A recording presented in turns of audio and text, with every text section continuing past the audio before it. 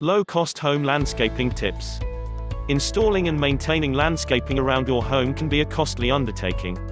Even the perfect landscape can end up a source of vexation instead of pleasure if it costs you more than you can afford to install and keep up. With these few helpful tips, you can save money on your landscaping without sacrificing quality or beauty. Plan before you spend. Plan before you make any purchases. Without a plan, you may buy things you don't really need, and that can waste money. Begin with a rough sketch of your landscape design. Next find out exactly what you need to make it possible. If you need advice, there are a number of websites where you can get ideas for creating your project. Specialty stores and some home improvement warehouses have experts on hand who can give you pointers. Once you've done your homework and know exactly what you need, you can start spending without fear of money wasters intruding. Purchase in phases. Your written plan should include a timetable for when you will install each portion of your landscape. Most people can't afford to make all the changes at once. Planning your landscape project in phases lets you buy what you need as you go, and as the money becomes available. This phased financing lets you avoid the interest and fees associated with home improvement loans or putting your purchases on credit cards. Don't sacrifice quality. It's good to remember that cheaper is not always better. If there is very little difference in quality, then buying the cheaper item is naturally the best course. However, local stores are often staffed with seasoned experts who will share their wisdom for free if you ask questions while making a purchase. Specialty stores can give you accurate information on installing a water feature, for example.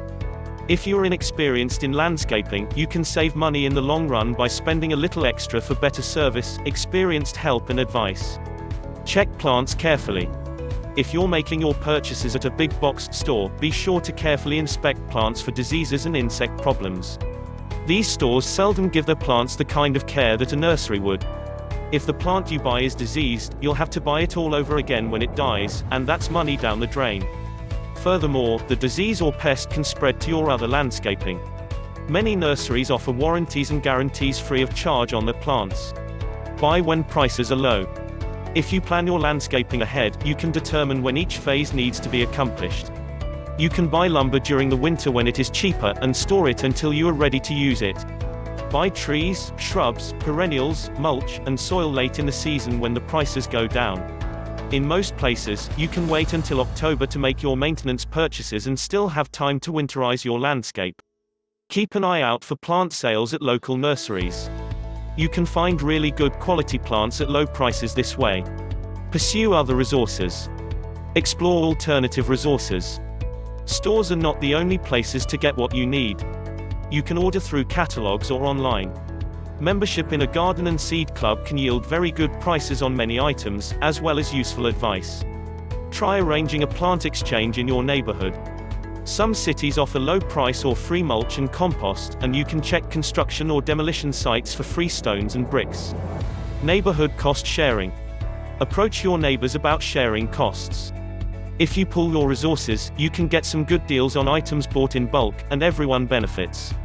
In the same vein, you can share the rental fees for machinery such as chippers, tillers, and aerators. If everyone chips in a few dollars, you can work out a schedule that lets each neighbor use the equipment before it is due back. This is a great way to reduce the costs of your landscaping. By heeding a few of these money-saving tips, you can hold down your costs and create a beautiful landscape that you can afford to maintain.